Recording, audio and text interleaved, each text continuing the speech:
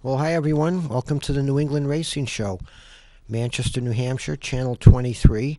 Also on YouTube and like us on Facebook. You'll get it automatically. I'm your host, Bill Sturgis.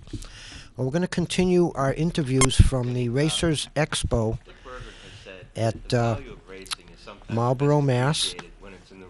This is Denny Zimmerman on your left, Rookie of the Year from the Indy 500 in 1972 there are a couple of old farts like me that are still running, having a good time. That's great. When your career started, did you ever think that in 2014 you'd be looking forward to a new season? No, never, never. But uh, I have been blessed with good health, and Skip Matzek offered me a ride in a midget, and it's just been one great big fun ride. Yeah, yeah. I mean, uh, back when you made it to the Speedway in 1971. 71 for the first time. Yep, and that's when you were Rookie of the Year at the Indianapolis Yes, Motor yeah. Speedway. Could you imagine if your career was starting now, and, and would you could you imagine having that goal and making it to the Speedway? It would be hard because nowadays you need a sponsor to get there, Right. a big time sponsor. In Marlborough, Massachusetts, we are uh, going from here to Lee, New Hampshire, just over the line uh, from Massachusetts. As a matter of fact, the Lee USA Speedway. Joe Bassett is the promoter up there, and I think you're just a little excited about 2014, right? More than a little bit. Okay. He's got a lot of things happening this year. So let's let's talk about the year. Uh, Lee's coming off a uh, a good year in 2013. Some very competitive racing. Uh, great divisions of race cars. Let's start there. Uh, can fans expect to see the same kind of program this year? Absolutely. Yeah. Um, Pre-registered right now in the hobby stocks, which in my book is probably one of the best shows we have, is 17 cars right now. Great. So, um, yeah, things are looking good. A lot of pre-entered cars. Um, so we're looking good there. Going to start the season a little bit later this year. We're going to actually start our weekly racing on May 30th, um, which opened up the door to our normal Governor's Cup on May 4th, 13th. And then um, Mother's Day, we got the Bullring Bash. And then May 25th, 4th, 4th and 5th, we have um, the monster trucks. Oh yes, So that's we got that'll be three Memorial groups. Day weekend. That had been a Fourth of July tradition Yep, before. so we started off with three big shows to kick off the year. And um, the Tri, Tri-Track Race Series is um, really doing a number on this Bull Ring Bash for Mother's Day. I think it's gonna Explain be that a great. little bit. The, the tri-track. It's a three-race open series, and they're starting off at Lee, Mother's Day. They're racing at Star in July and Seekonk in August. Um, $5,000 to win at Lee with guaranteed $1,000 to start the feature. These are what cars now? Modifieds. Modifieds, yeah. Modifieds. And um, they've already got a $10,000 points fund between the three races. Wow. Yeah, they're, they're, they're hustling. They're doing a lot of promoting, and, and it's a win-win for us. That's great, and that's, uh, that's a brand-new show for Lee this year. Yep. The it's- modifieds in the past have been the uh, Valenti Modified Racing Series. This is an- more of an open event. Absolutely. They basically took um, the small block 125 from Star and the open wheel show at Seekonk and added a third race and made it the tri-track uh, open series. So there is a uh, series point fund or something that goes along Yep. with that? Yep. Great. What about the other divisions? You talked about the registrations in hobby stocks. Uh, Of course, modifieds are not a regular weekly division. Nope. But your big division up there is the uh, small block super Small block modified. supers, we have pre-registered, last count, I believe it was 12. Okay, So I, and we got a few rookies in there, so I think it's gonna be a good thing. Um, And a new thing for 2014, we're, um, s- scrapped the handicapping system we've traditionally used, and we're starting out by points. Points leader will start in the back every week, okay. so. So it's not a three-week money No, one? you or- can't play the game of, well, if I finish here, I can get a good start, and you're gonna start in the back. Wow. Uh, How do you handicap them for the first couple of weeks? The, um, the Super's gonna be, uh, uh, and the hobbies, because they're both gonna race at the, um, Bull Ring Bash on Mother's Day. Um, Basically gonna run just a feature, and they're gonna luck of the draw and go, and then they'll be already handicapped for the first race. How about, uh, let's see, traditionally, some of the big shows there, of course, you open with ACT, uh, Yep. which is the ACT opener. Traditionally, uh, they open their season uh, at the opening race of Lee. And uh, the super modifieds, I assume the Ollie Silva Memorial is on the list somewhere? We have Visma on the list again, the Valenti Modified Tour. Um, We, we, you you can't have, not have the Ollie Silva Classic. Yeah. We- Even though we lost it last year to rain. I mean, we had a great year competitive last year, but um, as far as the competitors in our local divisions, but, you know, we lost the Valenti Tour, we lost the Modifieds, we, lo- I mean, the Super Modifieds, we lost the Monster Trucks, all for rain. But you paid a personal visit with Mother Nature, I understand, in this off-season, and she's guaranteed you a great year. I haven't visited. You it, put but- your charm on. But I, I will tell you, I will tell you, I'm telling everybody, bigger and better in 2014, and it's not going to rain on Friday nights. There you go. That's good. That's good to hear. Well, lastly, I want to talk to you about, um, of course, I've been at Lee and been involved in Lee and doing some of the announcing there for years and years, but there's a real family feel there, and you do cater to families. You got a whole playground oh, area and all that. So this turns out to be a good family event on Friday nights. Yeah, and, and we're gonna, we're gonna, we're working on our show within the show, so, you know, we're gonna have more of the family stuff. We're gonna work on, you know, doing the bike giveaways and drawing, coloring contests, and, you know, excuse me, I'd like to do, you know, some theme nights and whatnot. We're gonna work on the fan base this year. Good. That's a good thing. And it, it is a good place for families, uh, easily accessible uh, to get to, easy getting into the, into the facility and out. And one more time, let's talk about the important dates, the opening race and then when the regular season opens. The important dates will be, um, April thirteenth is the, um, the Governor's Cup, ACT Ameri- ACT Tour Race, and then, um, Mother's Day, May eleventh, will be the Bull Ring Bash, and then May twenty-fourth, the Monster Truck Show, and then we start weekly racing every Friday night on, um, May thirtieth.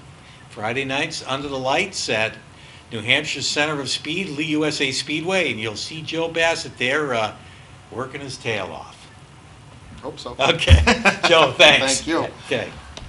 Expo in Marlborough, Mass. I'm Pete Falcone with Kaz Grala. Now, you might say, the name sounds familiar, can't place it. Well, let me tell you something. If you don't know the name now, believe me, a year from now you will, because uh, to, to say he's a rising star is really an understatement. So welcome, welcome Thank you. Great Thank to you see very you. much. Actually local to here where we are in Marlboro, out of Westboro, Massachusetts, which had a great racetrack once upon a time over there uh, where I spent a lot of my youth, but long before Kaz's time, but more so the fact of your locale is where you're headed. And uh, we'll start with where you began and we'll end up with the fact that you're going to be having some, some big weeks in uh, Florida this All year. right. But um, uh, I know you uh, coming up through the Bandolero series, right? Yes, sir. And how did it all start? Um, my dad used to race actually sports cars, so he introduced me to racing when I was just four years old in a go kart. Because obviously he knew how cool it was, he loved it, um, and he was actually pretty good himself. So he got me into it, and I played every sport and raced, and I never liked anything like I liked racing.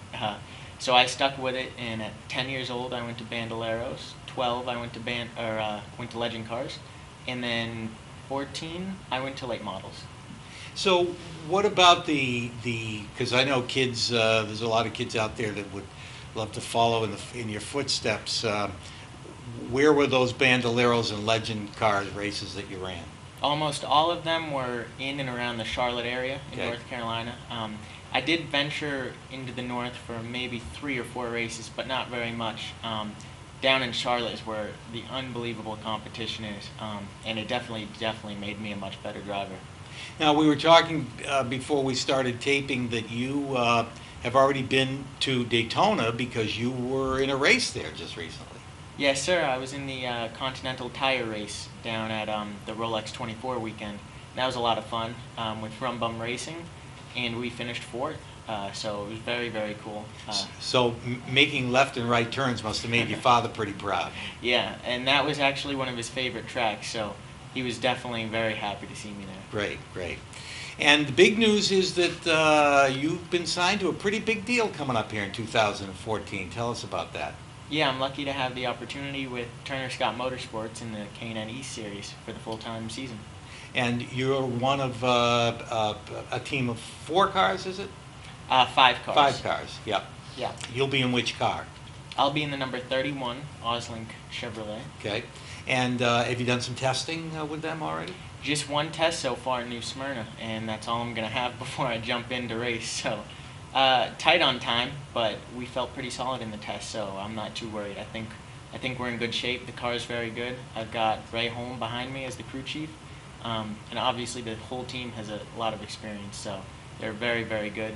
And uh, you're going to run the whole uh, schedule? Yes, sir. That, they, they do a fair amount of traveling these days, don't they? They do all around the whole eastern part of the country, including some new tracks this year, like Watkins Glen. That will be a lot of fun. Wow. Yeah. Have you ever? You've probably been to Watkins Glen, right? Uh, I was there, I believe, before I turned one when my dad was racing there, but not Okay. that I remember Sure. actually. And Yeah. I'll probably be one of the youngest drivers ever there because I believe they have a rule where you have to be 18 to drive there, Okay. which they're going to make an exception for the K&N series with. And uh, this that's a pretty competitive uh, uh, division, the K&N Pro Series. Um, is, was that an aspiration? I, I, you drove some late models, right? Yes, sir, and of course that was an aspiration for a whole third of my life, which has only been five years. But you know, one of my goals was definitely to make it to K&N, so that's really really cool. And like you said, the the field this year is stacked, um, more it seems than it's been in the last couple of years. So I'm looking forward to it. It's going to be a challenge, but I think it's going to make me a better driver.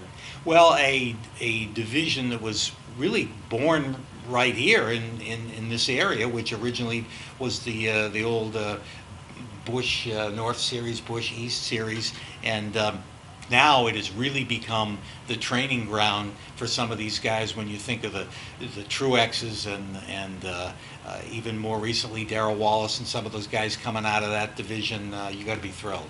Oh yeah, I'm so excited. Who are your teammates this year? Uh, ben Rhodes, Scott Heckert, Cameron Haley, and let's see if I can remember.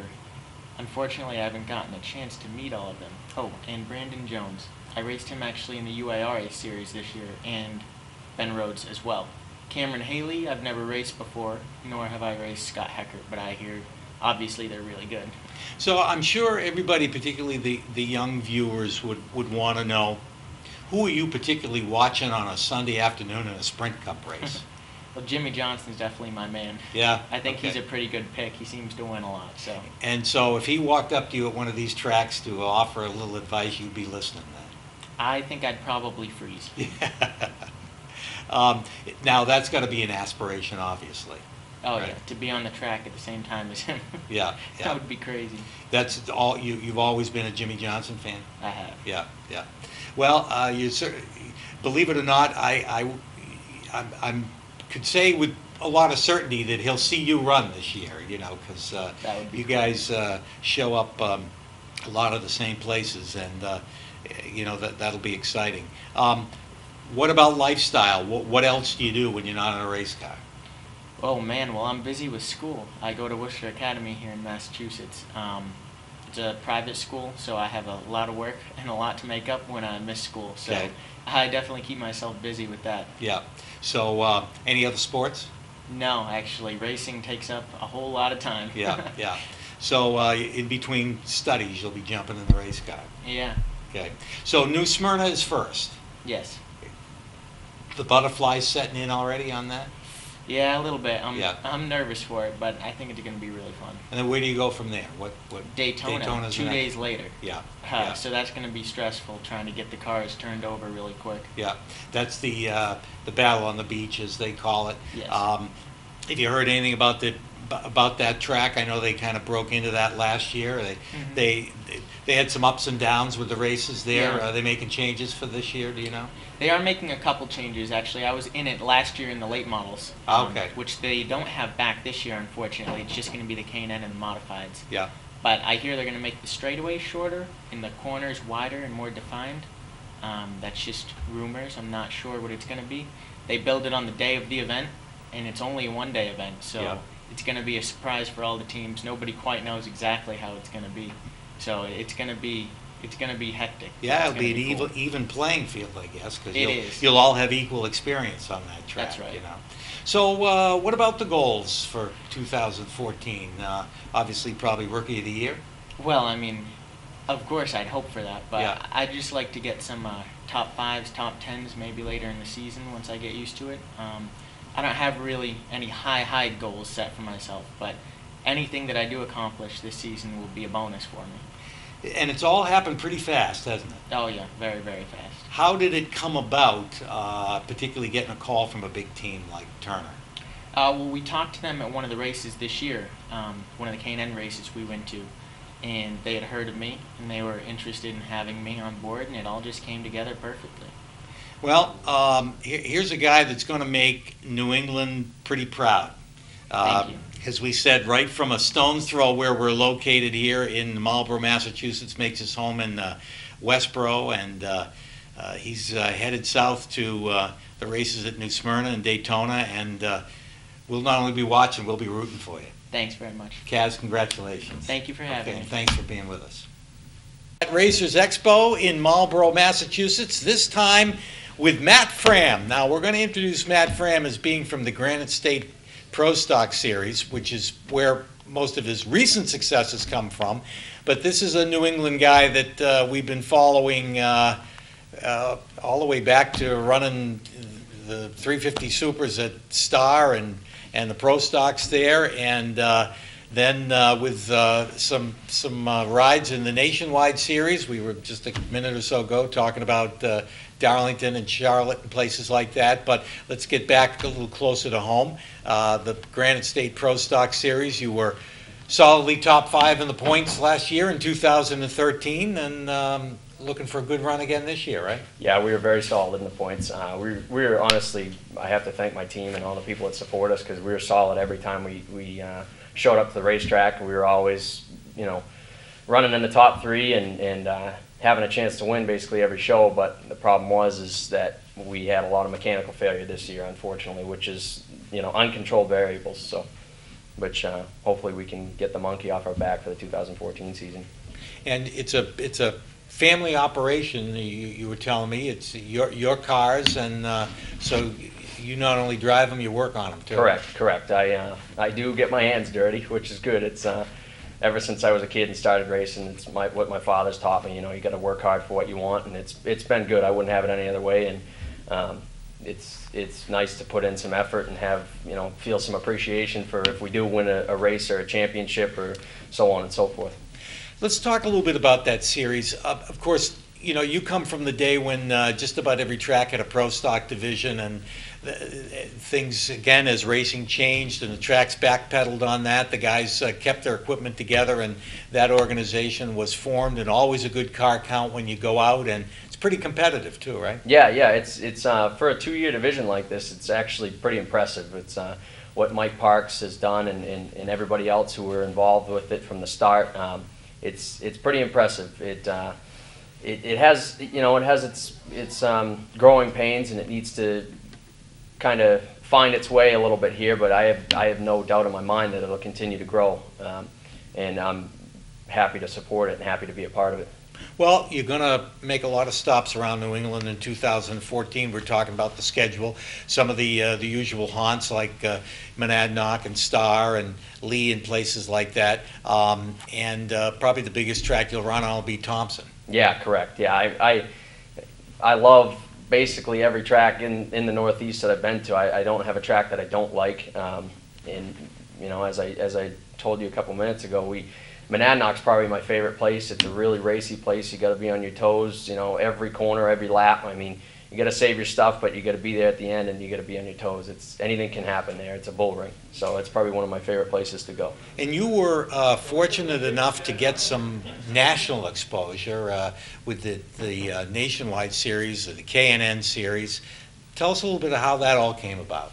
Uh, that that all came about basically just just being around the right people and and and uh, just having the right opportunities at the right time. I was able to step into a K&N car uh, for the first time in 2010, in Martinsville, Virginia, uh, where we ended up finishing eighth. You know, we went down there as a, a lot of it was a group of friends, and we had a blast down there. And I don't think we ever thought of coming home in eighth. You know, but it was a great, great finish for us, and uh, kind of opened our eyes to really what what the divisions in the South, the national divisions are, and what you're competing with. You know, you're competing with so much money and competition and bloodlines. It's uh, it's a very very tough sport to break into, and um, I, I've just I've learned a ton. I've had a lot of experience now down there. A lot of high high speed tracks, different types of race cars, different types of tires. Just I've learned a lot since being down there, and I do not regret one minute of it. Whether I step back into one of those cars at some point in my life or not. Well, I, th- I think uh, in your favor is the fact that um, they're a little more accepting of the guys coming down from north of the uh, Mason-Dixon That's- line that's- than the days of, uh, you know, Ronnie Bouchard That's or whatever, right, trying to right. break his way into what was primarily a southern sport, uh, at least with those kind of cars back then. Uh, so, uh, but we were talking uh, before the show that you know, um, some of it involves a little. I mean, obviously you got to have talent, but you you got to be in the right place at the right time and kind of know the right people too. Oh yeah, it's a lot of it's a lot of politics. It's a lot of politics, sponsors, and if you're marketable or not. And um, uh, talent obviously has to be there because you can't show up to a track and, and run for a team and go out there and run in the back all you know all year long and expect to keep your ride. So there is still a talent factor in it, but it's not what it was. You know, back in the old days of, of the Allisons and the Earnhardts and the Pettys, and it's nothing nothing similar whatsoever. You really got to be able to market yourself. You have to be a, a diverse driver. You have to bring sponsorship and know how to get your way around the track. Let's back up for just a minute and go back to the very beginning. What got you in a race car? Or I guess you started in go karts. What what what got you started, as opposed to going out and playing baseball or basketball? Well, I, I was fortunate enough as a kid that my parents put me through all that stuff too. I was I played hockey, I played baseball, soccer, all that stuff. Um, I I'd say honestly, I just I grew up at the tra- at the tracks when I wasn't playing hockey or soccer or football. Or I grew up at racetracks, and my father owned a few different race cars throughout the years. He actually owned a, uh, a Busch North car. Went back when the when the Busch North was Busch North and not the K and N, and when it was racing. You know, when it was really good racing. Um, he owned a car, and which Dale Shaw drove for a handful of races, and uh, they ended up splitting ways. But regardless, that's that's basically what made me want to step in a car. It was I grew up with it. I didn't know any different. And now we'll get into the future and talk about this 2014. Uh, what are you looking for? I'm going back for the championship. That's what I'm looking for. I was, uh, I, I tasted it last year, and, and mechanical failure unfortunately pushed us off that, uh, pushed us off that mountain. So I'm going right back for it.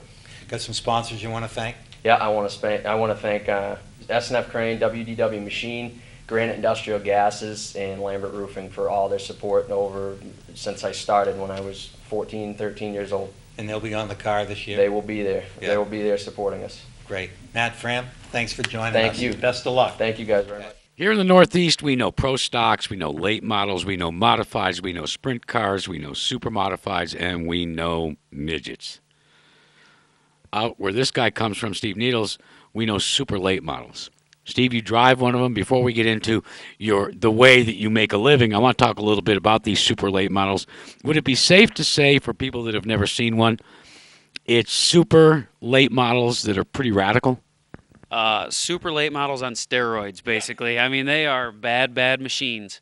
Um, it's a 2,700 pound car, so kind of your standard late model, but with a all aluminum wedge body, some carbon panels thrown in there, a lot of titanium, and uh, a ton of horsepower. how do you harness that horsepower, especially at places like Berlin and, and where you make make your bones each and every week? Well, it's tough. Um, you know, the way it is nowadays, you know, there's a lot of those tracks, especially Berlin and Kalamazoo, where you can't use a ton of horsepower. Um, you're limited with tires, so a lot of times we have to be real careful, and we we actually have to run some different engine packages and things with a little less power, so that we can make the cars last, uh, save tires, you know, those kinds of things. Um, but it's all in the in the chassis setups, you know, the shock packages and everything like that, just like it is anything else. And like so many other of so many of us that uh, have a passion for a sport, you have successfully channeled it as well into a career as part of All Star Performance. Tell our viewers a little bit about what All Star Performance does.